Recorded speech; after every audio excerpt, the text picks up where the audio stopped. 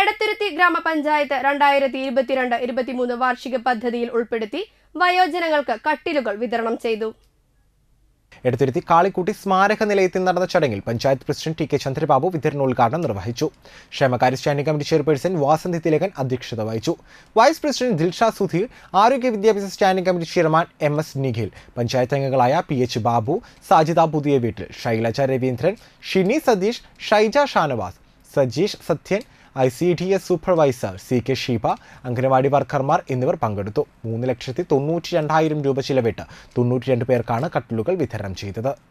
ജനങ്ങൾക്ക് കട്ടിൽ വിതരണം നടത്തുന്നതിന്റെ ചടങ്ങാണ് ഇവിടെ സംഘടിപ്പിച്ചത് മൂന്ന് ലക്ഷത്തി തൊണ്ണൂറ്റ ഒന്നായിരത്തി അഞ്ഞൂറ് രൂപ വകയിരുത്തിക്കൊണ്ട് തൊണ്ണൂറ്റി രണ്ട് പേർക്ക് ആണ് നമ്മളിന്ന് ഇവിടെ കട്ടിൽ വിതരണം നടത്തുന്നത് പ്രായമാവുന്നവരെ സഹായിക്കുക എന്ന ലക്ഷ്യത്തോടു കൂടിയിട്ടുള്ളതാണ് ഇത്തരം പദ്ധതി സംസ്ഥാന സർക്കാർ തന്നെ കൊണ്ടുവന്നിരിക്കുന്നത്. വയോജനങ്ങളെ നെഞ്ചോട് ചേർത്ത് പിടിച്ചുകൊണ്ട് അവർക്ക് വേണ്ട സഹായങ്ങൾ ചെയ്യുക എന്ന അർത്ഥത്തിലാണ് നമ്മുടെ നമ്മുടെ ജനകീയാസൂത്രണ പദ്ധതി ഉൾപ്പെടുത്തി പദ്ധതി പണത്തിൽ അഞ്ച് ശതമാനം വയോജനങ്ങൾക്കും ആയി നീക്കി വെച്ചുകൊണ്ടാണ് ഈ പ്രവർത്തനം നടത്തുന്നത്